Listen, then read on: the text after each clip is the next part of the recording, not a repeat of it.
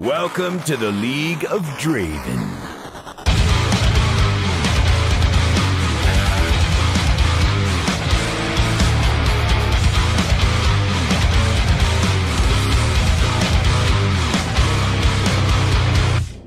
Zdravím priatelia, vítajte pri počúvaní 81. Joloky podcastu, kde sa dnes na tému e, Champion Poolu budeme rozprávať e, s pánom profesionálom. Vítaj. Ahoj. Čau, to čo Chtěl- jako. To, já jsem to chtěl, já jsem se díval na korejský film dneska a tam se takhle zdravili. Jakože vždycky je čau. Oh, Čau. aha, aha, ok, to sa musím naučiť, to skúsim Divně, že se tak zdravili ty kluci, ty holky se zdravili normálně. Ty kluci se zdravili takhle homosexuálně. Aha, tak možno boli homosexuálni, čo ty vieš? Nebyli právě. Tak možno chceli byť cool? Nevím, jestli tu máme nějakého pošuka do Azie, tak ať nám to prosím vysvětlí. Mhm.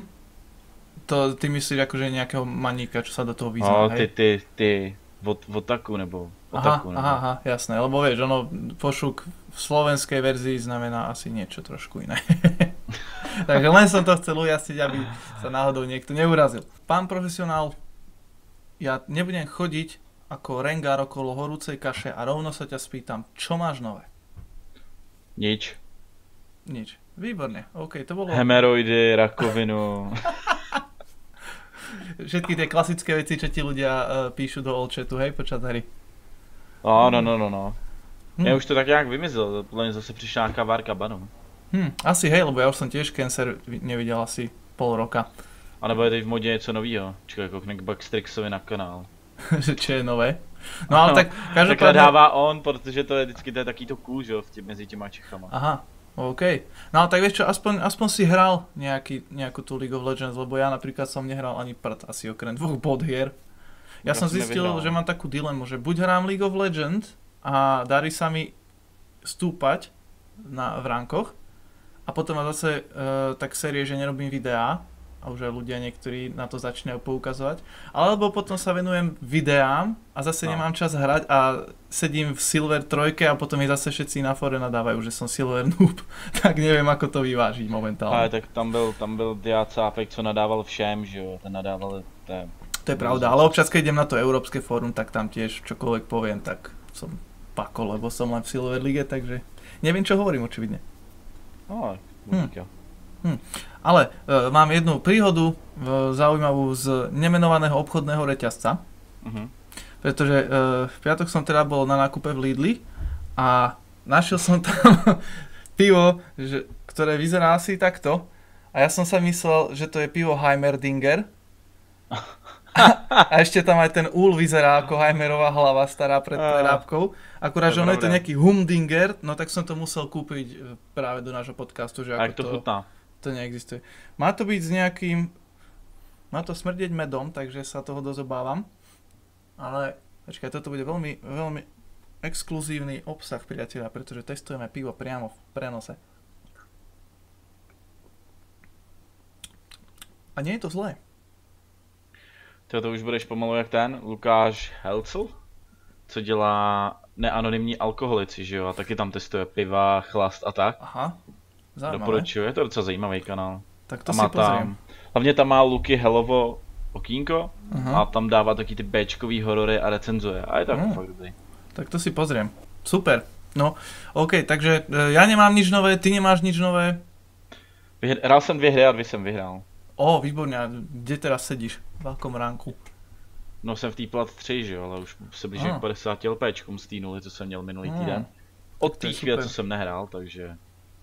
Tak, e, ja ti k tomu normálne, že gratulujem a tlieskam, pretože ja No, stále ďakujem. sedím na svojich 76 LPčkách a keďže to vyzerá, že ani tento týždeň nebudem hrať League of Legends, tak absolútne netuším, kedy s tým niečo idem spraviť. Už vidím, že potom budem zase nerváčiť a tiltiť mesiac pred skončením Hm, že to zase, že jsi to zase nestih. Hej, a budem nasraný, že budem sedieť v nejakom Silver 2. Lebo už tento rok, už tretíkrát po sebe som si povedal, že už dám ten gold.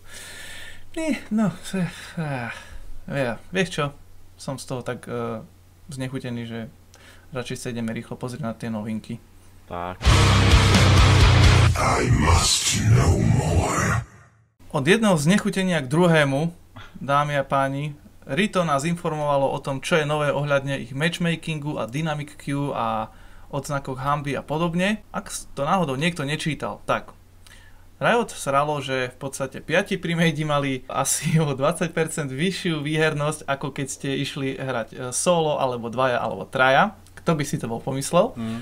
No a preto teraz do hry dali nejaký, zase nejaké ďalšie obmedzovačky a hovadiny, ktoré e, menia MMR a že vraj sa im to podarilo stiahnuť na, tak, že je to skoro máte rovnakú šancu, či idete hrať sami, dvaja, traja, štyria alebo piati. No, či niekto verí tým nakresleným grafom alebo nie, neviem. Ja osobne teraz rankedy nehrávam, tak neviem a... povedať. Já nevím, jak je to u ostatních, ale mně to funguje tak, že když hraju sám, solo, tak mi to teď dává slabší protivníky, jakože mi to dává nižší třeba gold. Mm-hmm. A když jsem teď zhrál premej, tak mi to normálně proti mě mrdlo mi to platy 1 a dia 5. Jako. Mm-hmm. Takže, hm. a vzhledem k tomu, že jsem teď v patři, že jo, přesně uprostřed, tak jako asi, to je možná ono, jako, když teď budeš hrát solo, tak možná budeš trošku zvýhodněný. Mm-hmm. Takže to je niečo pre mňa, lebo ja, mne sa lepšie hrá solo, ako som zistil. Mm. No, ďalej tu potom upravovali veci pre e, tých Diamond hráčov a Master tierov, že tiež, aby to nehádzalo do hry Diamond 5 a Master, proti nemu Master tier a podobne. A že vraj tiež sa im to už podarilo trošku vylepšiť. A čo mi bolo vtipné, e, že ten solo emblem, čo môžeme vyhrať za to, že hráme sami, tak potrebujete hrať sami 90% svojich zápasov. Že vraj je to tam preto, aby náhodou ten označík nezmizol človeku, ktorý náhodou si dá duo queue raz za 100 rokov alebo niečo také. Čo mňa osobne nejak tiež netrápi. To, bylo, to byla velmi zajímavá, vyčerpávající novinka, který Však... si 90% hráčů nevšimná a dál budou hejtit dynamiku. Mhm, asi tak. Ale čo napríklad nebudú hel- hejtiť, heltiť, je nový splash art pre v Lux skin, ktorý je na, už konečne veľmi pekný, pretože Lux naozaj definitívne potrebuje nové splash mm. arty. Okrem toho je základného, asi všetky by som prerobil, takže to som rád. Takisto Prestige z LeBlanc bude mať nový splash art, ale vyzerá hrozne, podľa mňa. A, čo je zaujímavé, na PBčku už existujú nejaké tie Hextech krabice s názvom mhm. Project mm. a bude z nich možné vyhrať podstate ten rámik, ako ty si dostal na Lucigáňa, na projektového, za to, že si ho kúpil za asi o 1800 RP viacej ako je hodný, len za to, aby si mal ten pekný rámik, že si ho kúpil ako ne, prvý. Ne, ne, tam, tam to bylo, že si ho koupil, no, ten skin stál snad o 100 RPček víc, ale šlo to, že si ho koupil v nějakém tom prvním týdnu, že jo? Áno, áno. Že ten skin vyšel, tam jako nebyla nějaká navíc cena. Nebo jako nepamatuju si, že by tam No, bola vyššia, bola vyššia tá cena. O, ale ne, moc, jako. No, mne sa zdalo, že aj o 300 RPček alebo nejak jo, tak. No. A to mi prišlo za ten rámik ako dosť veľa a aj tak si jediný, koho to vidím používať. Ale... Ja to nepoužívam, že to dáva automaticky. No, tak ale že si ho kúpil, tak, tak som to myslel. Ale no, každopádne, to... teraz sa to bude dať vyhrať s Hextechou, takže ne, ne. Ja ten rámeček moc chtěl. To poznám, ja tiež teraz musím kúpiť skin na Trindamera, ten Nightmare, pretože to je paródia na Pyramid Heada zo Silent Hillu, ktorý milujem a Trindameru nehrám, čo je rok dlhý, ale ten skin potrebujem. Takže chápem, chápem tvoju potrebu mať ten tak, tak, tak. No, máme tu ďalšie, opýtajte sa Riotu. V podstate venovali sa tam trom veciam. Za prvé, tento rok nemôžeme čakať žiadny event, ako bol minulý rok ten Bilgewater, že nová mapa, nové príbehy, nové ikonky a takto, pretože no, podľa mňa osobne to je lenivé a sústredujú sa na prohráčov a LCS a tieto veci a kašľú na toto. Ale namiesto toho dostaneme 100 kg históriek a príbehov, životopisov, čo ako dobre, ja mám rád životopisy, ale ako už mi to príde, že oni začínajú to flákať rajoťáci, pretože už čím ďalej, tým menej robia eventov, tým menej robia takýchto zaujímavých vecí pre hráčov, takých tých navyše. Čo na jednej strane sa to dá pochopiť, že majú hmm. veľa iných vecí a radšej nech robia na ja neviem, v novom hrdinovi alebo revorku, ako sa za, za, zadrbávať s takýmito vecami, ale zase už keď raz nahodili nejakú tú konštantu, pretože predtým sme mali dva alebo tri eventy do roka, tak nech nechajú aspoň jeden, podľa mňa. Podľa mňa sa tam měnil nejaký generální ředitel. Mm, myslíš? Ja tak a... vlastne odkúpil ich Tencent, no a Myslím si, že od té doby se ta hra nějak začíná měnit, jakože, nevím jak to mm. říct, jako zaměřují se už na jiné věci, než se zaměřovali předtím, že Mm-hmm. Podle mě asi ty původní mají tam nějakou jako představu toho, že ta hra bude, když do ní přijdeš, tak každý měsíc bude odrážet ten měsíc, který je jakoby v reálném životě. A třeba, že tam byl lunární event, Vánoce a tak dále. Mm-hmm. A do určitý míry to bylo kopčení třeba z Vovka. Prostě takže když přijdeš do když přijdeš do jakýkoliv hry, třeba Vovko, Lineage, já nevím, Terra, Wildstar, no ono to robia všade už teraz. no, Heroes of Storm, prostě všude, tak poznáš, jaký je období a podle mě se jakoby tím stejným směrem snažili vydat i v tom Riotu, aby si se jakoby, aby si prostě poznal, že jsou Vánoce, tak si měl třeba, když si dávno byla Vánoční mapa, že? Mhm. A teďkonc to nebude, ale místo toho budou dělat takovou tu omáčku okolo, která nezajímá tak 90% hráčů. No a je to zároveň lacnejšie, pretože napísať Mnohem lacinější. príbeh To, a spraviť jednu HTML stránku k tomu je jednoduchšie ako spraviť nový režim. přesně tak. Ono pro ten Riot je to mnohem levnější a plně se z toho snaží jenom vytřískat prachy, ta čínská firma. Mhm. Tak asi tak. No, A není to moc dobrá zpráva pro hráči, že si to znamená, že majitel se snaží z toho vytřískat prachy. to je pravda, však už ani uh, tie Lunar eventy už ani nerobia ikonky, ani k tomu ani nič. Všetko je len... A jako a to není nic těžkého to vyrobit, že jo? Mhm. Prostě najmeš grafika, vytvoř mi tady Lunar ikonku, čau. No, presne tak. Podívej se na to, jak to mají v Blizzardu, kopči to, prosím. No, presne tak. Však oni to tiež len od No niekoho. jasně. Takže Jo, tak to si to kopčí, funguje, jako. no. A tak jako já nikoho nehejtím, že za to, že není originální, to ne, ale já spíš jako, že to fakt není nic drahýho to udělat a pasknout je tam. Mm. No, na rozdiel od takého alfa klientu, ktorý tam tiež riešili, že vraj na ňom pracujú, všetko sa vyvíja veľmi pekne a potom tam zabijú takú vetu, z ktorej som mal chuť e, chytiť monitor a šláhnuť ho z okna, Jo, že potrebujú viacej testerov. Nech sa nikto nehnevá, ale boha, ja som pred 4 mesiacmi im napísal, že chcem testovať alfa klient, dodnes No. ho nemám. A oni napíšu, že potrebujú viac ako... Ježiš Mária. Je, Ježiš Mária, mne sa nožík vo vrecku normálne otvára, keď takéto sračky tak? čítam. Ty vole. Bože. Fakt, ako Ježiš. Ježiš Mária, to poďme radšej ďalej. E, Jako Posledná... já, já, mám, já mám oficiálně čeká na vyřízení furt, jo, takže No, áno, mám tam pending. já jsem ho, já jsem získal jako úplně mimo díky wrenchmanosti, jinak bych ho taky neměl. Takže. No. Ono, a ono je to hlavně divný v tom, že oni to prostě dají lidem, u kterých jasný, že to nebudou uh, reportovat. Ale chyby. možno je to tým, že ja hrám málo. Aj keď... To určitě tím není, podle mě to je jenom tím systémem, jaký máš. Mhm. No uvidím, prechádzam na Windows 10 tento týždeň, pretože už mu končí tá aktualizácia zdarma. Tak Mm. možno, že sa tam konečne dostanem. Uvidíme. Uvidíme. No a ešte posledná vec, ktorú tu riešili, že mapa Twisted Tree Line a tie rankedy trojkové strácajú na popularite a už e, zase majú popri tom také tie keci ako pri Dominione, že už to len udržiavajú a veľa peňazí to stojí a toto. A vyzerá to tak, že ak ešte viac klesne e, hrateľnosť Twisted Tree Line, tak sa z toho stane obyčajný ten rotujúci zábavný režim. Takže A to, je taky další věc, za kterou oni můžou. Ten mod byl super, než tam pleskli tu skurvenou čtvrtou věž, že jo. mhm. Do té doby to bylo dobrý. Nebo kdyby tam třeba aspoň jednou za čas vyrovnali ty itemy. A když tam na to tři sezóny serou a tři sezóny se tam hrajou ty samý šampioni, tak jako sorry. Mm. Teraz A si začali řeknou- niečo robiť. No jasně, a tak to fakt začali brzo ty vole. A pak řeknou, proč to lidi nebaví. Tak asi proto. Mě to třeba taky nebaví, protože tam je skurvený matchmaking, kdy já prostě jsem měl tým bronze 1, utkal jsem se s týmem, co byl taky bronze 1 a proti mě hrál Master Tier. Dva Mhm. Master Tieři a jeden Dia. Jako sorry, ale když si to půjde zkusit nějaký bronzák, tak pojďte, zkusíme si trojky, vole. Tak to fakt musí být zábava, když takhle dostanou na prdel. To- musí být hrozná zábava pro toho hráče, ty vole. Když ho outplayuje, vole, jeden, když jdou tři lidi na jednoho a oni všechny outplayne, protože té hře rozumí. Mhm. Tak ale to sa mi stávalo aj v ranked týme 5v5. Keď sme No jasne, ale- takže... Tam furt je to 5v5, furt to máš aspoň vybalancovaný itemy předměty, jako za, mě, za, mý, za mýho času. My jsme hráli Lísina, Ahry a Maokai dohromady, že a Maokai byli dole na lince. Mhm, Taková divná taktika a úplně v pohodě jsme s ní prostě propluli. mhm. Vůbec proti Dia, proti Master. Furt jsme hráli do kolečka to samý, furt ty samý itemy a prostě jsme vyhrávali, zase jsme se třeba i 15 vinů za sebou. Jako. Tak to je cool. Hm. Takže už viem, kde idem zohnať svoju zlatú ikonku. A Jo, rámik. jako, ale jako reálně za to, to prostě není to, nej, oni si za to můžou sami, že ten mod se nehraje. Mhm. Stejně jako Dominion, ten se nehrál, ne, proto, já bych Dominion hrál, ale mě sralo to, že se tam furt hráli do ty samý piky, že jo. No a že tam boli sami boti. Jo, Takže tak. asi tak.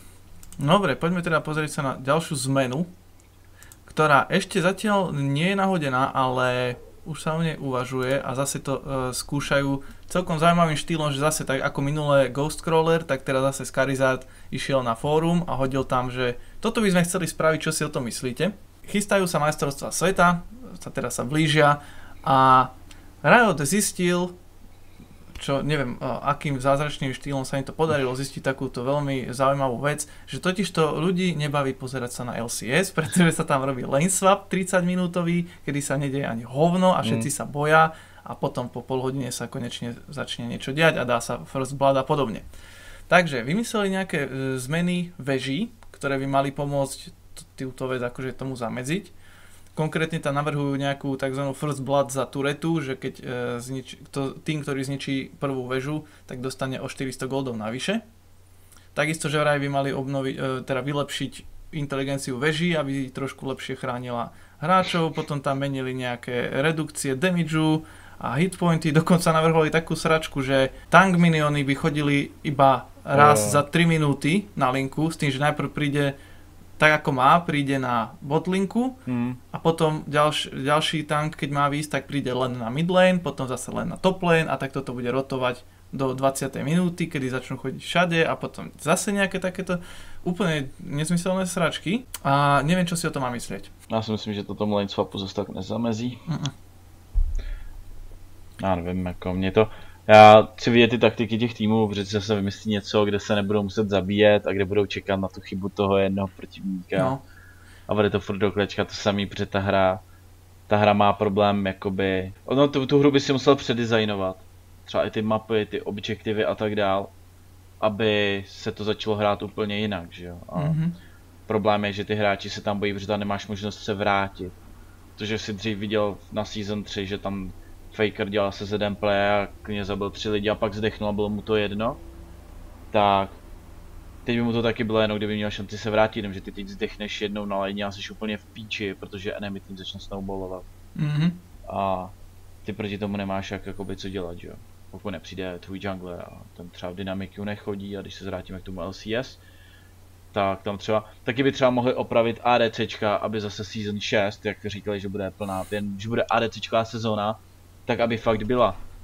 Když si všimneš, tak oni hrozně čekají jakoby na to, až to ADC začne mít damage. Mm-hmm. Oni, oni prostě, ten lane swap je proto, aby si denajnul to, že jakoby toho enemy, že jo.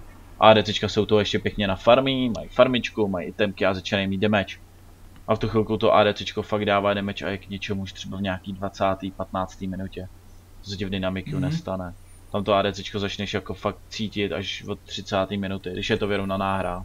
No a hlavně ja si myslím, že 400 goldov tým prohráčom, akože hej, oni ho využijú lepšie ako ja neviem nejaký bronze 5 hráč, ale nemyslím si, že 400 goldov pre celý tým, keďže to je 275 miestne, čiže to 275 goldov si rozdielia tí traja mm. ľudia, čo robia ten uh, lane swap a tlačia na väžu a plus 25 goldov midlanerovi a junglerovi já si hlavně jako myslím, že jak je tam ta ochrana té věžky, která u botu nebude. U všech mm-hmm. jiných věží bude, bude na topu a na miru bude nějaký ta redukce damage nebo co, ale na botu nebude. Tak to bude mít za následek toho, že, že, že třeba nějaký, umí si jako představit, že třeba nějaký šampion na topu, který používá Ionias, který ti zkracují cooldowny, takže se ti tam prostě na, na to, na portí, dozad, zabijou botlinku a budou ji jakoby hard pushovat, že jo, aby mm-hmm. měli těch 400 goldů, aby měli tu výhodu, aby měli pušlou věšku jako první a tak dál. A tam jako nebude žádná ochrana v tu chvilku. No hlavne ja si myslím, že keď už nový drak nedokázal tých ľudí udržať na bote, tak hmm. takáto trapná zmena vie, že určite tomu nepomôže. Navíc nahoře máš Heralda, že jo, ten je lepší. Mm, navyše. Takže, a obzvlášť keď sa ti ešte nejaký drak spavne, ktorého ty nepotrebuješ ako tým. Přesně tak. Když se tam spavne Cloud, tak jako Určite. No. Kvôli, určite kvôli Cloudovi tam niekde budú. Uh-huh. Ako ešte pár ľudí sa tu na tom fóre stiažovalo, že zase upravujú hru kvôli 1% hráčov. Riot, hmm. Riot na to hovoril, že teda oni si myslia, že by to nemalo nejak negatívne ovplyvniť solo queue a nás ostatných, že hmm. buď to ovplyvní takisto pozitívne, alebo ich to neovplyvní vôbec. Sú kece. Jako ze skúsenosti, kolikrát oni upravovali hru podle Master Tieru a Dia a ty vole, tam ty lidi v tom bronzu, silveru, goldu to úplně nejvíc odsrali. Třeba úprava Vart, jako jo, úprava Vart, ty vole. To byla, teď ta poslední, která byla, to bylo po mid-seasonu.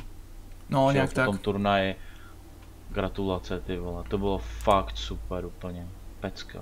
No, uvidíme. Každopádne táto zmena, no, ako určite prejde, ale ja si myslím, že nejak extra zmeny sa nebudeme môcť dočkať a zase to budú také tie nudné majstrovstvá, že však v podstate ja som tiež teraz prestal sledovať LCS, lebo každé LCS, čo pozerám, tak ľudia už robia mexické vlny za zabíjanie vár, mm-hmm. čo znamená, že niečo je tam fakt zlé. No jasně, jako tak jenom za to, že tam ten šampion uteče gengu od třeba supporta, junglera na topu, tak už se tleská, dělají se tam exkluzivně, já nevím, výbuchy a tak, že jo. Tak, tak. Já mám pocit, já mám pocit, že budeme ještě dlouho vzpomínat třeba na Season 5, že jo, která byla docela dobrá. Mm-hmm. A d byly k hovnu, ale mohl si díky tomu hrát mnohem víc piků. Tak, tak. No a keď už spomínaš mnohem víc piku, tak vyzerá to tak, že za chvíľu sa nám rozšíri možnosť pikovania, pretože Riot nám oznámil, respektíve predstavil takéto teaser video na YouTube, ktoré som hodil aj na náš Facebook, s novým hrdinom, volať, alebo šampiónom, alebo teda čo to je zač. Mal by sa volať Kled a je to divné. Já jsem nejdřív myslel, že to je Rengar, co našel nějakýho mounta a že do hry budou přidaný mounti. fakt, já jsem si to vyslal. Já nevím proč, jak já jsem to fakt nepochopil. Ty ten chlapek, když tam skákal, jak jsem viděl ty oči a říkám si, jo aha. Takže, no. to je, no, takže to je skin ve stylu Gnara na Rengara a ještě k tomu dostane nějaký zvíře, aby ten skin mohl stát 3000 RPček. Presne tak, jo, ja, ja keď som videl to video, tak ja pozerám, že Gentleman Gnár skáče na nejaké zviera, čo vyzerá jo, ako jo. mix medzi Kroganom z Mass Effectu a to, ako si uh, skrotiť draka, ten animák, tak keby to spojili dokopy, tak tak to mm-hmm. vyzerá. A potom pozerám, že ale to nie je Gnár, on má nejakú palicu v ruke a vyzerá to ako v Rengárov malý syn, ešte nedonosený a, a no, nič viac o tom nevieme, ale v podstate toto vysvetľuje aj to uh, záhadné škrekotanie, čo počuť, keď ideš okolo kríku ako neviem, či je to ešte len na PB, alebo či je to už aj v hre. Vieš, tak ako bolo, že keď e, Bard mal prísť do hry, tak si videl na mape sa občas objavili nejaké znaky. Predtým, ako no. prišla do hry Kindred, tak keď si zomrel, tak sa ti nad hlavou objavil ten jej znak a nikto nevedel, čo to je. No, no, tak teraz to je zase tak, že keď ideš okolo kríku, tak teda počuješ také škrekotanie ako papagaj, keby tam bolo alebo Aha. niečo. A to je očividne ten, ten jeho mount. Já nevím, mně přijde, že oni ještě nemají ani vybalancovaný tyhle šampiony, co tam jsou začíná sa blížiť World. No. no práve preto podľa mňa pušujú ešte tohto jedného nového hrdinu a potom si dajú zase pauzu už pred, pred majstrovstvami. Čo takto sa pozrieť na náš meta report 6,14 a hneď na začiatku musíme musíme vyriešiť ešte jedného veľkého slona, čo nám stojí tu v miestnosti. Totiž to slečna Sonia o ktorej sme v minulom dieli hovorili, že stojí za hovno a že nikto ju nebude hrávať a celkovo treba ju ogrcať a zabudnúť, že existuje. Odrazu má 58% win rate a všetci ju hrajú. A pro boha, už nemá, jo? Já, já to jednoduše vysvětlím. My ten podcast přednatáčíme a ve chvíli jsme to natáčeli, jak to byla sobota a pátek, tak měla 52% nebo kolem 51 a nikdo ji nehrál a pak během tří dnů předpokládám, že vytáhnu nějaký streamer, nebo se byla na LCS, LCK, kdekoliv. Najednou vyskočila na 58, 59% a teď už přišel, teď je sobota 23. A přišel malý uh, nerv, no malý, jako byl, přišel prostě nerv a ty, ty víš, ty se zdíval na ty win ratey, jak padají. Já si to už nepamatuju. No, já že jsem... to bylo hodně, že to bylo 3-4% v každé divizi, takže... No v Master Tieri to kleslo dokonca o 20%. Hmm. Takže asi tak, jo, prostě omlouváme se za mis, ale... No, ale tak v podstate sme mali pravdu, že ono, Sonia sa hrávala len preto, lebo niekto v Riote zabudol na to, ako sa menili AP predmety a ako sa menil ten Forbidden Idol. No oni to vysvetlovali tak, jako, že nečekali, že to bude mít takové jako efekt, jo. No, lebo ono, ja som si aj pozeral, že ako sa Sonia hráva a oni ju hrávali väčšinou na AP, Full mm-hmm. AP, jedine čo mali Frost Queen Claim, Sidestone a Arden Sensor a to bolo všetko, inak zvyšné tri predmety boli surové APčka. Mm-hmm. Takže oni ju ani, ľudia ju ani nehrali na ten, ten support tak ako sa hráva. A už aj ten, ten win rate klesa. Čiže v podstate Sonia zase už sa vracia naspäť do, do tých svojich bažín, kde ju Já si myslím, jako, že jsme to prostě pokazali, jsme řekli, že se nebude hrát, protože já jsem fakt nečekal, že se začne hrát s tím, že lidem dojde až po týdnu nějakýho buffu, že ten šampion je silný. A nečekal jsem, že Riot na to ještě bude reagovat tím, že ji rovnou nerfne malým nějakým mini patchem. Mm. Takže Tak ale zase, pe- keď niečo skočí na 58%, tak to asi je nezdravé. Neříkám, že ne, ale nečekal jsem, že ji prostě najednou lidi vytáhnou. Mě fakt zajímalo, proč ji najednou vytáhli, protože ona, ona, ona fakt přišel peč v úterý, středa, čtvrtek, pátek ji nikdo nehrál a když jsme začali natáčet sobotu, furt byla na těch 50%. No, peč chodí v stredu, teda vychádza, Tak ve středu, no tak jako ráno ve středu. hej, ale Tak jako ve středu už hraješ, že jo, dopoledne už přijdeš a začneš hrát. hm, typujem, že niekto to len tak skúsil zo srandy, zistil, že je to easy a freelo. Hm. Takže možno tak. No a tak každopádne Sonia klesá a predpokladám, že už o týždeň, možno, že už v ďalšom meta reporte už budeme hovoriť, že no a už je zase tam, kde bola. Alebo respektíve, Je to, je, to dost možný, no. alebo dostane ďalší nerv 6.15, ak ešte stále bude mať nad 55%. No dobre, poďme sa pozrieť na džunglu. Mám tu dve zaujímavé veci. Amumu sa mu zdvihol pick rate na 10% a no, ten jeho 54% win rate nie je nič prekvapujúce, pretože Amumu je silný od bronzu až po master tier. A um, neviem prečo sa zrazu začína hrať, či ľudia pochopili, že je OP, alebo je to kvôli tým novým magickým itemom. Za prvý kvůli těm itemům, za druhý kvůli metě. A ona se ti drasticky měnila meta na topu, kde třeba dominuje Irelia, Darius a takovýhle. Mhm. A ty potřebuješ mít něco, co vydrží jak ten damage, tak ho samo dá, plus to má CCčko. A ADCčka dole taky, byť se to nezdá, tak začíná být silný. A jako Caitlina, která ti uskočí, tak ty se na potřebuješ nějak dostat. A proto je třeba Amumu silný. Mhm. Navíc je to, do určitý míry je to free elo, ty nepotřebuješ, jakoby v Dynamicu, ty nepotřebuješ žádný skill na to něco dělat s Amumuem.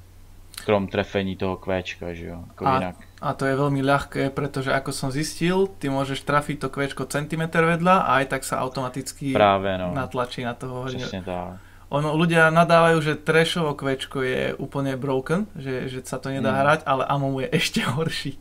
Tak, Ja som za Amumum supportom vyťahol S+, asi v prvej alebo druhej hre, čo som ho hral. A keď som si pozeral záznam, tak som zistil, že ja som Mhm. polovicu hákov som nemal trafiť, teda tých, tých bandáží. hm. No a ešte tu mám jednu uh, jungle otázku, prečo sa začal hrávať Hekarim, keď uh, on sa začal hrávať a teraz zase sa prestal hrávať a v poslednom čase sa zase začína hrávať. Ono je to jako kombinace dvou faktorů. První je Trinity Force a její buff, Mhm. kdy vlastně mu to dává větší attack speed na clear, clear který potřebuje k tomu, aby měl rychlejší clear. takže ho tak zrychlilo v džungli a uh, on potřebuje, a taky jakoby on, on prostě potřebuje nějaký ten cooldown redukci, jakoby cooldown reduction Mhm. na ty spely, jo. Tam úplně u té cooldown redukce, tam se nejsem úplně jistý, jestli je to něco jako ten hlavní důvod, ale vím, že ta Trinity Force mu celkově pomohla ten buff. A pak je tam ten druhý, a to je, že oni prostě ponerfovali ty carry junglery, že jo, jako třeba Gravese, eh, Kindred nebo Nidalee, jo. Nidalee zabila naprosto hackerem, když se začala hrát. Mhm. A vlastně ty jungle metě teď zase začínají dominovat taky ty bruiseři, jako je Rek'Sai, Gragas a právě ten Hecarim. Ty s ním vlastně, on, on, on je to jakoby ten, taky ten carry pick, se kterým můžeš hrozně easy potahat. A to je právě jako ten jeden z důvodů, proč se začal hrát. Navíc on je hrozně safe ze začátku. Ty když zůstáš counter jungly, tak on uteče. Díky tomu No, zrychlení, že jo, skoku a tak, nebo tomu skoku, tomu, tomu průskoku, tak on díky tomu je vlastně jakoby uteče. A proto je, on je prostě safe pick, Trinity Force mu taky pomohla. No. To asi budou jako ty největší důvody. Mhm. OK, musím ho kúpiť. A ještě, ještě může, on může sám chodit invade, jo, na R levelu. Mhm. Jsem No to jasné. párkrát viděl, no. OK, takže záhada Hekarima vyriešená. Ďakujem. No a teraz som zvedavý, čo mi povieš na nového Ryza, pretože eh, jeho win rate po prerábke padol na 38%, čo je ešte nižšie ako mal pôvodne pred prerábkou. Hm. A ja neviem, či je to zase len preto, že ľudia ešte stále nezistili, ako ho hrať, alebo či je to tým, že teraz je ten jeho kit až príliš tak zameraný na nejaké, čo viem, 5v5 alebo také tú tímovú hru, že do solo sa veľmi možno nehodí. Netuším. Fakt nevím. Uh, Možná to je tou ultinou, že jakoby, jak říkáš na ten teamwork, ale jako jinak nevím. Hmm. Lebo v podstate on stratil strašne veľký damage tou novou ultinou, pretože tá pôvodná mu pridávala fekálny cooldown reduction, ešte mu zvyšovala ability power na všetkých jeho oných e, speloch, čiže hmm. to vtedy bolo akože musel si vedieť urobiť dobre tie jeho komba, ale keď si mal ultu, tak v podstate väčšinou, väčšinou, alebo z toho aspoň čo som počul, to bolo od toho, o tom, že Rise má ultu, ak je odpověď áno, tak někdo zomrie. jako mnohem, mnohem třeba podle mě lepší pick, než třeba Rise je Vladimír, že? Mm-hmm. Jako když, jenom když to jako porovnám tyhle ty dva šampiony, že, že oba dva byly jakoby revorklí, a byť jakoby jejich spely vypadají stejně, krom teda u Riseho ta ultina, tak už, už jakoby je tam ten rozdíl v tom, že ten Rise nemá ten damage. Možná taky on není tak safe, že on nemá žádný escape. A to je pravda. Vladimír oproti němu má jak damage, má tam heal, má tam ten půl, že jo. Hmm. Plus má tu ultinu. Ty dáš ultinu hned ze začátku fightu, pak dáš kvéčko, Ečko, půl a ono ti to healne za polovinu hápek nahoru zase. No a potom si Takže... dáš ještě zóniu, kým ti skončí cooldowny. Právě, myslím, myslím si jako, že to třeba oproti, že tam jakoby vidět ten rozdíl, že ten hmm. Vladimír má damage, má jaký escape, je trošku i safe, může být tanky. Ryze, když postavíš do tanka, tak jakože by to bylo top, to se říct nedá. To je pravda a ešte k tomu teraz sa musí už aj rozhodovať, že či chce štít alebo či chce väčší damage a keď mm. sa zle rozhodneš v tým fajte, tak zomrieš. No a posledná vec ešte, v podstate bodlinka sa nám nemení, tá, mm. ale e, tá ma zaujala až, ktorá má 20% pick rate. 20%, to znamená, že je v každej druhej hre a možno, že keďže má nejaký vyše 53% win rate, že by asi nebolo od veci ju začať banovať. Ona, ona když víš, jak je hrát, tak ona má silný pouk, může kohokoliv učejsovat přes to kvéčko a mm-hmm. přes celkové to zpomalení. Má i vision a ta ultina má fakt brutálně jakoby malý cooldown. A když ji střílíš na my, to třeba Ophelia z toho dělala teď s memečko, že ta Eshina prostě vždycky střelila arrow na mid, trefila Jace a on ho vymazal okamžitě na to navázal. tak jako to je podle mě ten největší problém, jakože uh-huh cooldown na té ultině a ten damage z toho pouku. A z kritu samozřejmě, když bereš krit Ash, tak jako... Easy.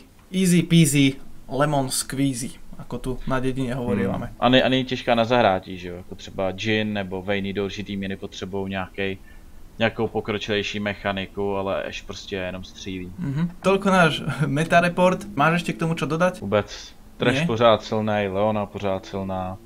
O my nevím, waifu. Na midu, na midu furt Azer, na hmm. topu, nevím, na topu vlastně teď cokoliv. Darius. Darius, no nič, donahrávame a idem si zahrať Leonu, lebo už, už, ma, už mi chýba mo, moja, moja manželka. Ale aby sme mohli skončiť, tak ešte predtým vám musím priateľa povedať môj tip týždňa. Here's a tip.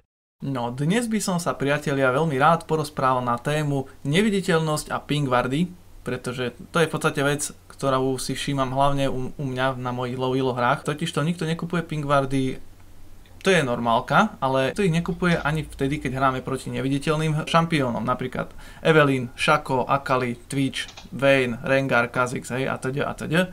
No a v takýchto prípadoch by mal náš tým mať aspoň 2 až 3 pingvardy na nejakých dvoch, možno aj troch ľuďoch. A je úplne jedno, že či ste support midlaner alebo niečo, pretože v podstate benefituje z toho celý tým. No a e, viac menej, aká je to výhoda, keď hrám čo ja viem proti Akali, keď hodiť na, seba, na zem ten shroud, kde je neviditeľná, stačí vám tam prdnúť, hoci aj na okraj toho jej kruhu, stačí hodiť pingvardu, okamžite vidíte Akali, môžete ju zahákovať alebo zabiť, vymazať, není problém. Takisto keď hrá proti nám nejaký Rengar, uvidím nad sebou výkričník, automaticky hádžem na zem pingvardu, support by mal zapnúť ten červený trinket a začať behať okolo, aby ho objavil a tým pádom presne vieme, kde je. Pingvarda môžete aj zrušiť neviditeľnosť a tým pádom hneď na ňo môžeme útočiť. A keďže väčšinou títo neviditeľní šampióni sú fakt vyrobení z papieru, že majú síce damage, ale nič nevydržia, tak práve tou jednou trapnou pingvardou za 75 goldov my mu zrušíme stealth, môžeme ho mu dať hard CC, vymazať ho a odrazu ten nafidený 15-0-12 Rengar nie je problém. No, e, neviem, či k tomu ešte treba niečo dodať, pán kolega. Když máte skill shot, tak ho trefte v tom, v tom stiltu. No presne tak, to je e, zase tá high elo tactics, že skrátka, aj keď je nepriateľ neviditeľný, máte tušiť, kde je a hodiť tam skillshot. tak. Ale pokiaľ ste takí ako ja, že e, e, ono se to jakoby dá předpokládat, protože když ten, když ten Rengar hraje v celku dobře, tak je úplně jasný, že bude skákat po tom ADC nebo po nějakým carry, že, který zabije na jednu ránu. Mm, alebo někdo, kdo má 5 healthov. Tak, tak, tak. Nebude, nebude 100% skákat po, já nevím, po tankovi, že? Po no, no. Alebo na Dariusa s plnými healthami určite nebude tak, skákať. Tak, tak, určite ne. tak. Hej. Ale je to taký milý vtip, e, v podstate aj proti Vayne jej to tak dokáže posrať náladu, keď Vayne zaultí, vy tam prnete mm. Pingvardu a ona má z toho veľké hovno a hneď ju všetci vymažú a potom no, nadáva, že, že dementný support s Pingvardov a podobne. Tak raz sa mi to už stalo a vtedy som si to tak uvedomil, že je to fakt cool a odtedy to robím. Aj keď občas zabudnem, takže zase nemôžem povedať, že by som to robil 100%, ale keď náhodou si spomeniem a urobím to, tak väčšinou z toho vždy je kill, takže aj preto som to spravil ako tip dnešného týždňa. Next time, try to leave a dent. OK, dámy a páni, takže téma e, dnešného dňa je Champion Pool a Peak fáza. No uvidíme, kam sa dostaneme, možno, že to rozdelíme na dve časti, uvidíme. Každopádne začneme asi tým, že by som rád len pre istotu, pre niektorých možno, ktorí len začínajú s hrou League of Legends, vysvetlil, čo je to ten Champion Pool, alebo teda ako to ja nazývam bazén hrdinov. E, Champion Pool je v podstate e, taký ten okruh hrdinov, ktorých dokážeme zahrať s tým, že to veľmi nepokazíme. Alebo teda aspoň si myslíme, že ich vieme hrať dobre. Čiže vždy je to nejakých 5, 6, 7, 10 postav. Závisí, závisí od toho, kto, aký má skill a ako často hráva a akých má rád hrdinov. No a čo sa týka tej pick fázy, tak tým myslíme v podstate tú časť pred začiatkom hry, kedy si vyberáme, akého šampióna chceme hrať. No, a pán kolega, tým pádom moja prvá otázka sa bude týkať práve tohto Champion Poolu. Je lepší hlboký alebo plitký? Čiže je lepšie, keď viem hrať dobre veľa hrdinov alebo radšej menej? Prípadne, aký mm. počet je nejak tak uh, ideálny na jednotlivé tie divízie alebo podobně. Když to je, hro, to je hrozně jakoby složitá otázka, jo, protože ono záleží taky hrozně na divizi, na jaký seš reálně za to se dá říct, čím níž si, tím je lepší umět mín šampionu, jo. Mm-hmm. Protože třeba, když to vemu v Master Tieru, tam doporučuji třeba k tomu Declasu, já na Challenger Master Tier nějaký stream, tak v té pikovací fázi vidíte, jak ten, když ten člověk banuje, tak ha, já vím, že proti mě jde tenhle zmrt a vím, že hraje jenom Yasu a tak mu banu a schválně, co bude dělat, čurák. A banem mu toho Yasua. Takže eh, čím níž jste, tedy jakoby, čím je menší možnost, že potkáte ten samý tým, nebo ty samý lidi, tak tím více vyplatí hrát jedno až dva šampiony. Navíc ještě teď, jak je teď ten nový, tak je pikování, že si vyberete vlastní roli, tak už nepotřebujete umět na každou roli jednoho šampiona, tedy reálně za to 10 šampionů, ale stačí umět prostě jenom uh, dva šampiony, protože většina šampionů se dá zahrát na dalších jakoby postech, pokud se mm-hmm. nedá třeba o supporty nebo nějakého fakt specifického šampiona, jako třeba Ahry. To je reálně za to by vám teď měli stačit třeba 3-4 šampioni, který fakt jako máte naskillený a dokážete s nima potáhat hru. Mm-hmm. No ja som sa uh, na toto hlavne pýtal aj preto, lebo som videl a počul rôzne názory, pretože existujú tzv. tí one trick pony hráči, ktorí hrajú len jedného šampióna, len v jednej alebo v dvoch rolách, alebo prípadne na hociakej linke mm-hmm. a dostali sa do challengeru. Hmm. Takisto prohráči tí vedia hrať v podstate skoro všetko na tej svojej linke, hoci hmm. hrdinu. A zároveň pre low elo sa odporúča ako vždy, že čo najmenej hrdinov, aby si hral, aby si skrátka sa ich naučil poriadne a menej ako z každého rožku trošku a na hovno. Tak som nevidel, že teda čo je lepšie. Tak jako ono, ono je to tak ještě jako těžký v tom, že ty, když se podíváš na ty hráče, co hrajou jakoby Van Track Pony, tak většinou hrajou nějakýho šampiona, který je prostě ve střední fázi, jakoby v tom tier listu třeba na druhém, třetím místě, jakože není špatný, není dobrý, ale musíš ho umět, aby si s ním fakt potal hru. Mm-hmm. A jen málo kdy tyhle si One Trick Pony hrajou šampiony, který jsou jakoby třeba jako Soniu, že jo, teď žádný One Trick Pony Soniu potkáš jen málo kdy. Fakt strašně, těch, těch hráčů je fakt málo. Oproti třeba One Trick Pony Trash, Leona, Yasuo, já nevím, Lee Sin. Mm-hmm takový ty, takový ty safe picky, o kterých víš, že se moc jako by s nima nedělá. Že prostě dáváte spokojené, jak fungují. A je to takový ten šampion, kdy uh, za... Kdy máš jakoby takovou tu uh, je jednoduchý ho zahrát, ale je těžký ho zahrát jako master, jo, takovej ten, jak je to, uh, easy to play. Hard to master. Přesně mm-hmm. tak. No, bo ja som pozeral minulé, som videl nejakého Garen Main, One Trick Pony, hrá iba Garena na tope, mm-hmm. alebo tak on ho hral ako support, je mu je to uprdele skrátka. On hrá Garena no, no, a je v Challengeri s Garenom. Jako okay. jo, pro, proč nevíš, co tam jako důvod, proč se lidi snějou těm One Trick Pony je spíš v tom, že oni, uh, oni umí jenom toho jednoho šampiona a nic víc neumí a v okamžiku oni třeba nerozumí ani moc hře a tak. Mm-hmm. Oni se nahoru dostali jen prostě, protože toho svého šampiona ovládají na spamě a potom třeba oni nejsou schopni hrát v týmu, že v 5v5 týmech a tak dál, třeba na turnajích. Jasné. Si, ty si toho hráče vytáhneš, protože víš proti čemu budeš hrát, proti jakému týmu, víš proti, co tam bude za hráče mm-hmm. a můžeš nabanovat ty šampiony proti ním. Čiže v podstate teoreticky taká ideálna odpoveď je, že začať s čo najmenším tým champ poolom a postupne ako stúpaš hore ho rozširovať. Přesně a ještě doporučil bych nějaký easy šampiony. Když jsi třeba bronze silver, tak nemá cenu hrát Barda. No. To, jako, to jako na foru teď byl ten klužu, že mind support a že bude hrát Barda. No. Určitě. A. To aj nebylo vtipné.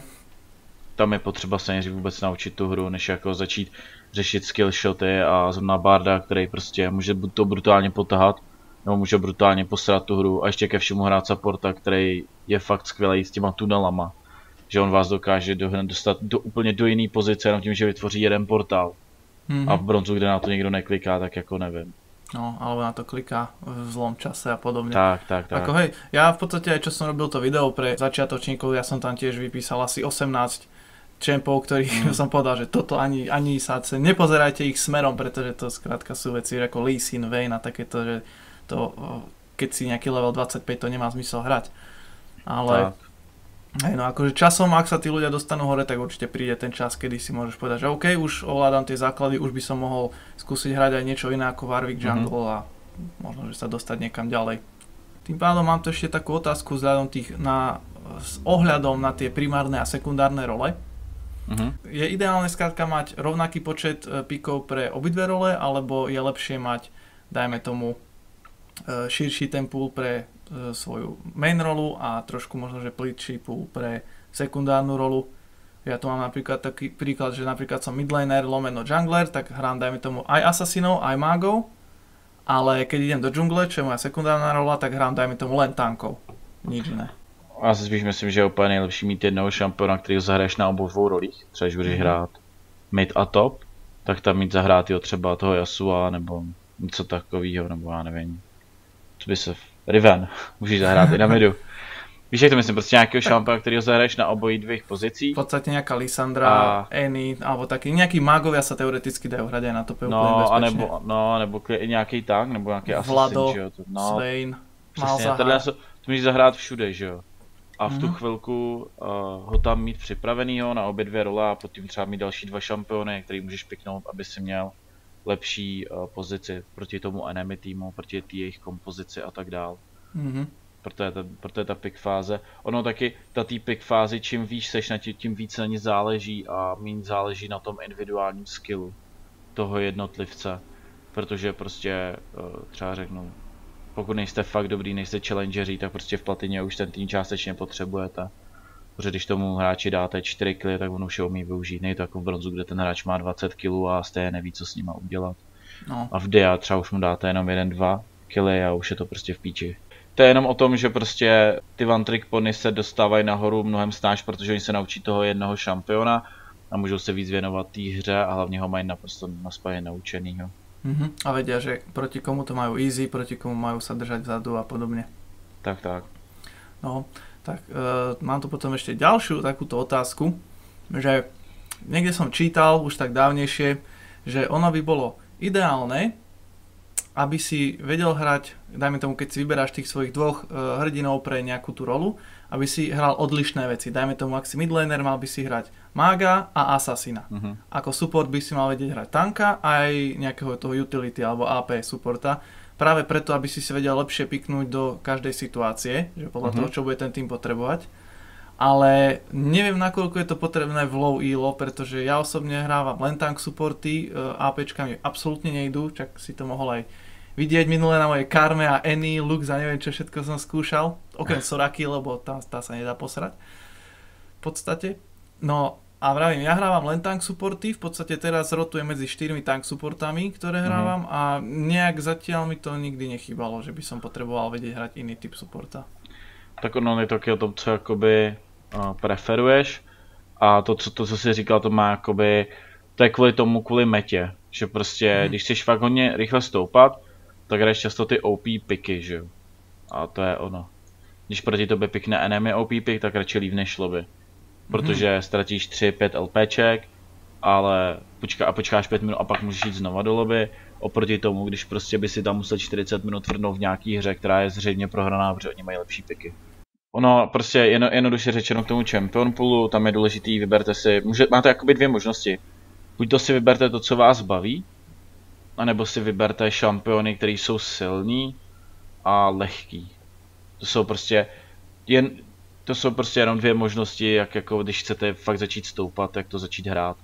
Buď to budete hrát to, co vás baví a vám to přijde tak nějak samo, anebo budete brát to, co je OP a budete fakt tryhardit a učit se furt nový a nový šampiony, ale zase budete hrát OP piky, takže to mě potřeba to umět naspamět toho šampiona. Mm, ale zase k tomu mám aj, by som dal takú hviezdičku, že ak budeš hrať také tie príchute dňa, ako teraz bola Sonia, že si začneš pikovať len le- preto, Mm. lebo je OP, tak asi si veľmi nezahráš, pokiaľ nie si first pick a pokiaľ prejde ban mm, fázou, čo sa často nestáva. A Áno. za druhé, uh, musíš veľmi často potom meniť tých hrdinov, že teraz tento mesiac hrám Vi, lebo je super, ďalší mesiac budem musieť zase hrať Amumu, lebo bude Já super. jsem, já jsem nemyslel úplně jako ty, ty top OP piky, který ti banujou, A, ale třeba, já nevím, uh, také tie Když- skryté OP, hej, že ako Warwick v bronze a podobne. No něco takového, prostě Warwicka bych asi zrovna neřekl, ale Prostě- OK, tak. Prostě to, co jsem mu třeba Ash dáme na ADCčko, jo, to je úplně to je ten primární pick, který je teď konci dobrý. Víš, oni ho nebudou hned nerfovat, budeš toho třeba hrát měsíc, měsíc a půl. Během toho mm-hmm. se Mhm. posuneš vejš, no a pak bude zase jiný, jiná věc, jako třeba jiný ADCčko OP, tak budeš hrát to. Mhm. No a plus ešte, čo si hovoril, že hrať to, čo ťa baví, tak tam tiež opatrne, lebo mňa baví any support, ale vždy s ňou nechutne na feedím early game. Tak to už je potom jenom, jestli máš chuť uh, se učit, to hrát furt do kolečka, mm. anebo jestli ne, že to už, to je zase to už patří úplně pod jinou kategorii. Mm, asi hej. Ja len som chcel tak upozorniť, vieš, že ak Mhm. niekoho v bronze 5 baví Yasuo, no tak ho bude musieť hrať minimálne 2 roky, kým sa dostane do Silver League, vieš. No jasně. Ak sa, ak sa nezačne samozrejme vzdelávať, Mm. pozerať guidy a, teda, a teda. Ale keď to berieme taký ten klasický priemerný hráč v low ile, ktorý Mm. skrátka baví ma Vayne, lebo som videl 4 zostrihy, ako si Vayne dala pentakill sama, no, tak asi no. asi to tak rýchlo nepôjde hore. OK, takže toľko na Champion Pool, nechávať ho teda malý, zvyšovať postupne a v podstate hrať, čo nás baví. Tam možná v dnešní době už je spíš i o tu roli, než jako vyloženě o ty šampiony. Mhm. Prostě, Čiže svoj Champion Pool prispôsobiť tomu, čo hrávam a nie je zbytočne to no nebo když ti jde hlavně o tu roli, že jo, tak třeba já hraju jenom supporty a trofnu si říct, že na supporty v dnešní době zahraju cokoliv. Že Mhm. jako ne, neříkám, že to bude top, neříkám, že to bude něco jako gold, bude spíš to bude nějaký silver, ale když jsem třeba teď hrál na Smurfy, jak jsem hrál jako support a prostě já nevím, Rengara stejně jsem vyhrával. Protože jsem věděl, co mám jako support dělat, že jo. No jasné. Potom to jako je, že pak už, jak máš dneska ten nový champion pick, tak už jde spíš asi o tu roli víc, než vyloženě o to, s- jakoby o toho šampiona. Mhm. No a keď už spomínaš tú pick fázu, Mhm. tak by sme sa mohli rovno na ňu aj pozrieť trošku zbližšia. Totižto, uh, veľmi často počúvam také tie rady na fóre alebo kade tade, kde sa hovorí, že nemal by si pikovať tak, aby si si vybral nejaký counterpick na svojho nepriateľa, alebo takisto, že nemal by si napríklad eh, pikovať niečo, čo bude mať dobrú synergiu s tvojim tímom, ak to neviem hrať.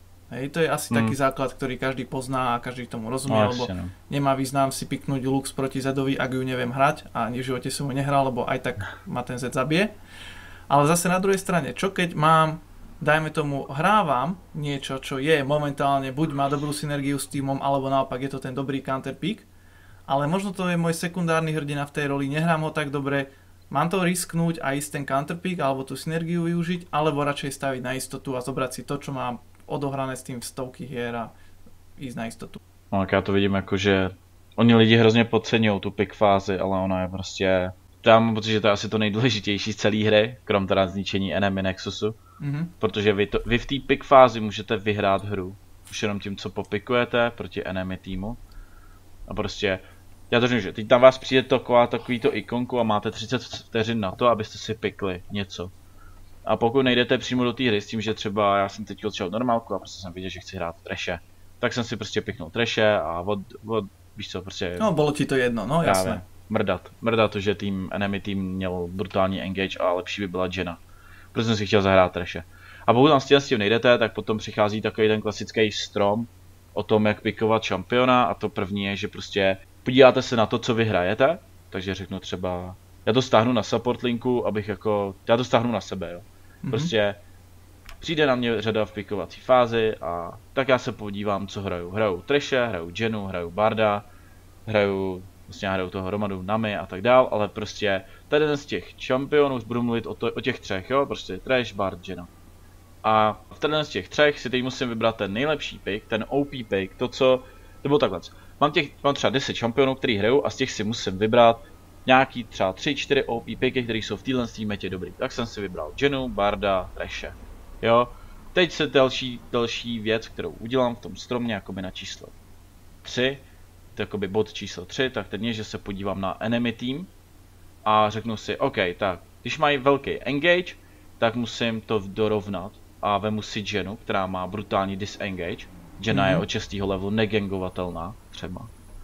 A naopak, když oni nemají žádný engage, a nebo třeba my nemáme žádný engage, tak si vemu Treshe. Tam prostě v tom bodě 3 je to o tom, že se podívám, co enemy mají za šampiony a co já mám za šampiony.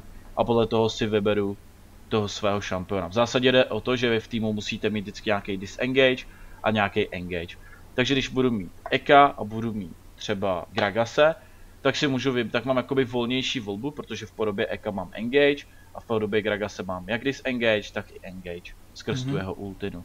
Takže mám potom volnější výběr těch šampionů, než když prostě celý můj tým popikuje, já nevím, Malfighta, Yasua, ty máš nějakou sračku, která má prostě, nevím, třeba Kazikse No. a enemy tým si proti tomu veme prostě něco, s čím taky můžou hrozně engageovat, třeba Maoka a tady to. No tak já si třeba vemu tu Jenu nebo Nami, se kterou jakoby máš dobrý disengage. Mm-hmm. A nebo, nebo si vemu i toho Trashe, ale to protože jsem one trick pony a umím ho zahrát i jakoby na všechny Na, role. na ten píl. Mhm. Tak, tak, tak. A podle toho potom vlastně přichází třetí věc a to je, že prostě teď ve chvíli, kdy už mám jako vybranýho toho šampiona, s tím, že jsem ho porovnal jak u enemy týmu, tak u svýmu týmu, tak se podívám, jestli v tom týmu, jen tak koukám do té do volby toho výběru šampiona, ještě zahrnou to třeba, jestli máme tanka, jestli nemáme tanka, jestli máme AP anebo AD, jo? A to všechno mm-hmm. zahrnu do té naší volby šampiona. A teď právě přichází to AD AP, to je jakoby bod 4, já už jsem to hodil po ten bod 3, ale má je to bod 4. A podívám se, jestli ten tým je logicky složený, že tam je jak AD, tak AP, protože když máte full AD tým a enemy tým Piknera muset, tak jste prostě v prdeli, pokud nevyhrajete do nějaký 30. minuty. Tak, A tak. v tu chvilku už se zase, pak už přichází taková ta otázka leavenout nebo zůstat, jo. A to leavenout, tam se většinou dostávám k tomu, když ty lidi se chovají jak retardi v chatu, nebo když máme prostě na hovno teamcom, a to znamená právě třeba proti Ramusovi, a ještě ke všemu jsem se dostal do týmu nějakou, já nevím, třeba nějaký jaký ty late game carryčka, který postupně dlouho jim to trvá, než se dostanou do týmu Mhm. jakoby do té hry. A to je další věc, kterou ještě při výběru šampionů z- jakoby zhodnocuju toho bodu 3. A to je to, že prostě když třeba mám tým, který je víc do lateu, tak já většinou se to snažím jakoby dorovnat, že beru třeba něco jako mid late nebo early late šampiona, který je silný v téhle z těch fází hry. Takže třeba když mám Vaynu, která je do lateu, tak si k ní vemu Jenu, protože za prvý dokážu ochránit s tou Jenou a za druhý Jena je prostě neskutečně silná jak v early, tak v lateu. Mhm. Nebo No. no. Barda, třeba Bard, jo, to je úplně, to je, to je perfektní příklad toho, jak být silný, jak v early, tak v lateu. Jasné.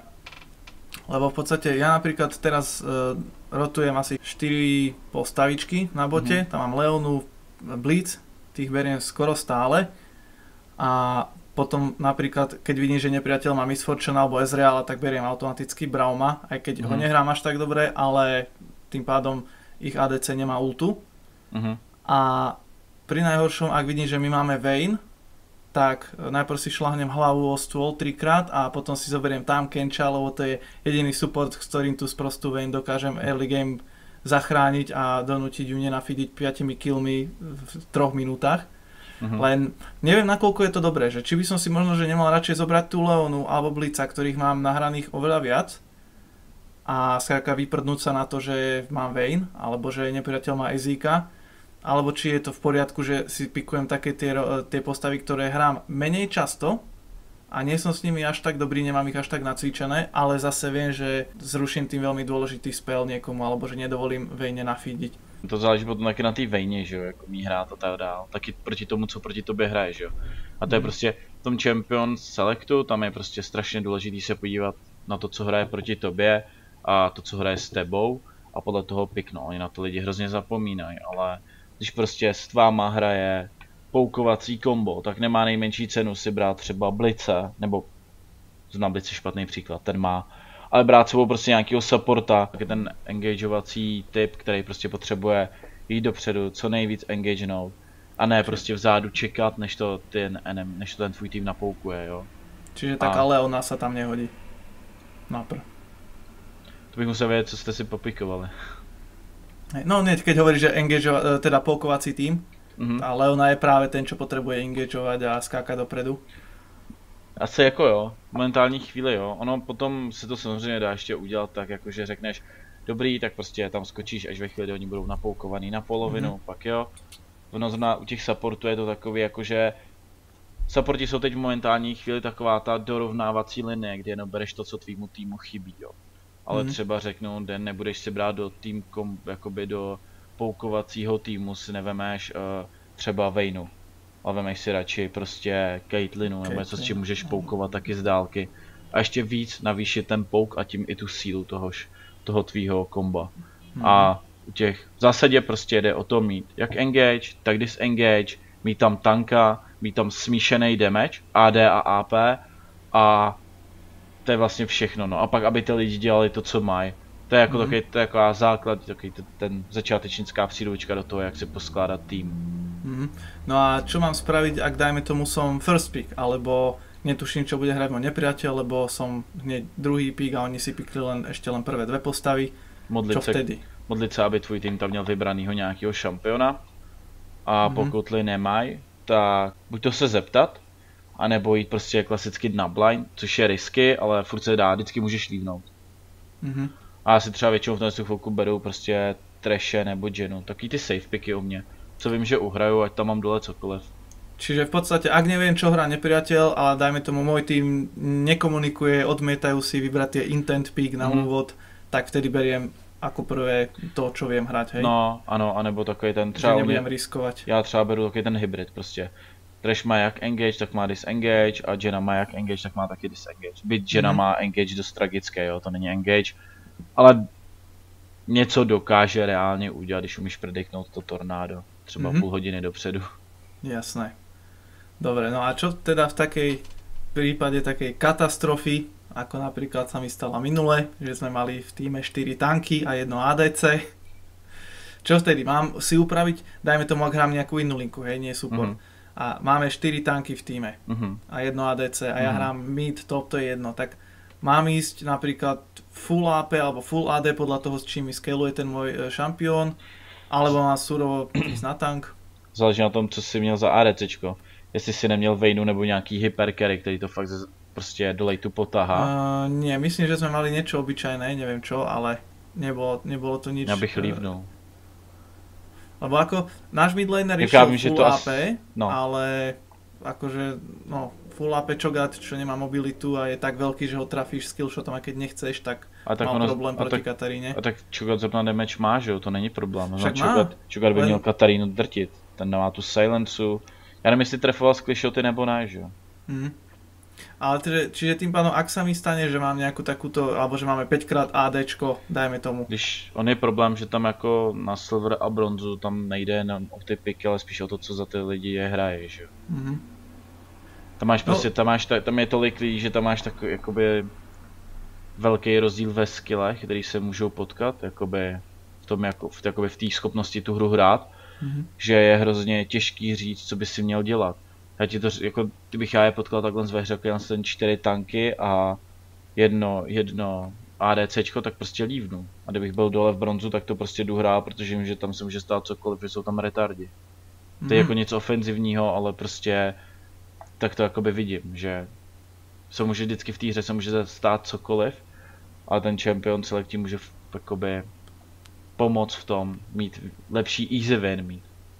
Dobre, no v podstate o čo mi tak šlo tou otázkou bolo, že teda či radšej livnúť, alebo či mám ísť skúsiť možno nejaký YOLO Swaggins build, že ja neviem, som, dajme tomu na tope Malfight uh-huh. A máme 5 tankov, alebo teda 4 tanky, no tak pôjdem, čo viem, full AP Malfight, hej, alebo by som išiel full AD, ja neviem, ty kokos, nejaký tank, full AD Volibere, alebo niečo také, či uh-huh. to mhm. mám ísť skúsiť, alebo radšej livnúť. Mm, tak jako můžeš to zkusit, že jo? Vždycky to můžeš zkusit. Záleží na tom, jak moc chceš vyhrát. Aha. Já nevím, jako to je prostě, tady to, to jsou hrozně těžké věci, protože to už pak záleží i na té hře, na tom, co proti tobě půjde. Když proti mm-hmm. tobě, když se potkají fakt jako reálně vyrovnaný skill, jako týmy skillové, což se nikdy nestane v Silveru, a když by se fakt potkali, jako vyrovnaně, že by hráli úplně stejně, nikdo by nefídil a tak, tak bych lívnul ale ono se to stát nemusí, ty můžeš mít ADC, který může mít 10-0, je jedno kolik, jestli má sebou nějakého dalšího nebo nemá. Nebo mm-hmm. naopak můžeš mít ADC 0-5 a kdyby si měl správně poskládaný tým, tak jsi v prdeli. Jasné. Protože půjde AFK, že jo. To je, Champion Select je strašně důležitá věc a pomůže vám vyhrát. Na druhou stranu je to jako dělat takové ty otázky je hrozně napad, protože, jak to říct, No na to nie je taká jednoznačná odpověď. No. Právě, ty nemůžeš prediknout to, jak ta hra bude probíhat. Kdybych ti řekl, kdyby, kdybych třeba, víš co, u těch u LCS a tak je to jednodušší, v Challengeru je to jednodušší, v DIA a tak dál, a tam dole, kde jsme my, tak tam je to prostě na hovno, protože furt je o to, jak ten hráč hraje.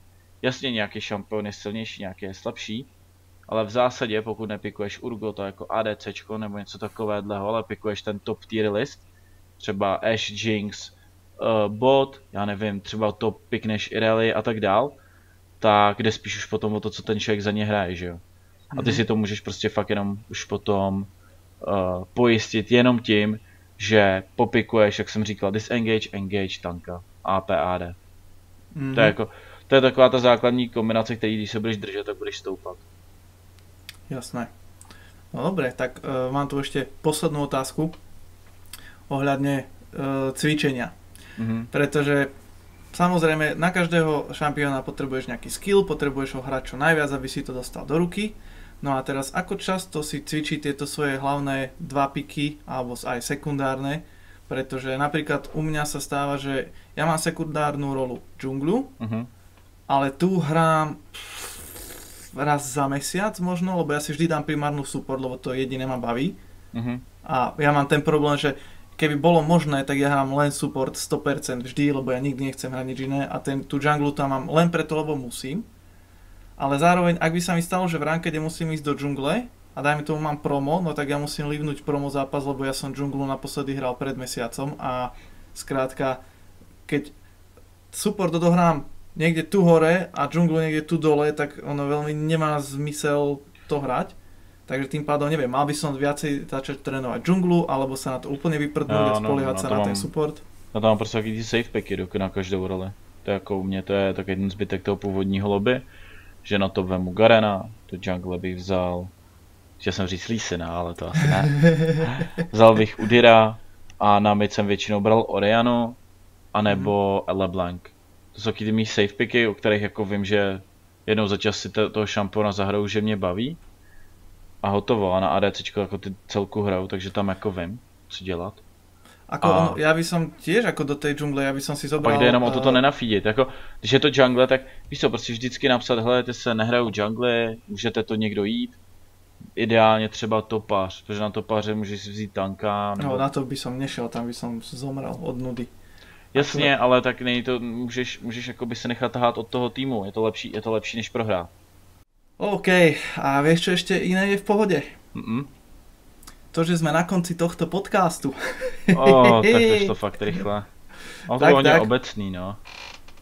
Hej, je to, že bolo tam toho dosť. Takže som rád, že sme to zvládli takto. Síce len vo všeobecnosti, ale myslím si, že to bola dobrá téma a ostali tam ešte nejaké otázky, ktoré by som sa veľmi rád opýtal, ale nie je na to čas, takže vážení a milí diviaci, či diváci, či čo ste to a posluchiači, ak vás to tu zaujímalo a chceli by ste vedieť niečo viac o tejto pick a ban fáze, o Champion Pool a podobne, tak dajte nám vedieť. Veľmi radi si pripravíme niečo ďalšie pre vás. No ale skôr než to tu celé vybuchne a skončí, tak uh, máš pre nás nejakú radu na záver, pán kolega? Popravdě řečeno, já vůbec žádnou nemám ani připravenou. Mm, Jsem na to úplně zapomněl. 81. diel a ten človek zabudne po tých 30 rokov, čo, čo robí tento podcast, zabudne na svoju hlavnú sekciu, na ktorú sa celý týždeň teší a pripravuje aha. a otravuje ma s ňou a fúr len, že a či by to nemohlo byť na začiatku a, a veľké a to a on to teraz, Ježiš, Mária, Jozef a toto je, toto má byť kvalitný obsah pre poslucháčov. Dobře, tak já jdu ven, já jdu skočit z mostu za tohle. Promiň. Á, zničil, celý, celý podcast jsem ti zničil. Celý podcast, ja, ja by som sa nedivil, keby to ľudia teraz prestali uh, počúvať, pretože oni sem chodia len kvôli tvojej rade na záver, aby sa Mm, niečo naučili presne, a zlepšili. A ty teraz si ich takto sklamal. Ty si sklamal, predstav si to 7-ročné dievčatko v tých šatočkách letných, ako stojí s tým macíkom a pozera Ne. na teba, ústa jej vykrivuje a slzička veľká ako hrak sa kotúľa dole, pretože ona tu stála a počúvala to celú tú hodinu len kvôli rade na záver a ty ju nemáš. a teď se ukáže jako cynická svině. Máš smůlu, Máš No. dôvod sa vrátiť o týždeň. zvykej si, no, v životě nebudeš mít všechno. Uh, uh, to je inak mimochodom veľmi dobrá rada na záver. O, v životě nebudeš mít všechno. Presne tak. A treba si zvykať. Život je špina. Život je jedna veľká špinavá špina. Uh, No, to je všechno. OK. Asi Tak to čau. ukončíme. Dejte Takže. like a odběr. O, ozaj, ozaj, áno. Ak nás pozeráte na YouTube, dole sú všetky tie informácie. Pozerajte sa a klikajte a majte nás radi, lebo aj my vás máme radi. a Jo. kým ešte viacej sa tu zapredáme e, rôznym korporáciám a urobíme zo seba hnusných selloutov, tak dámy a páni, toto bol 81. diel Yellowkey podcastu. Ďakujeme pekne za pozornosť a do počutia o týždeň.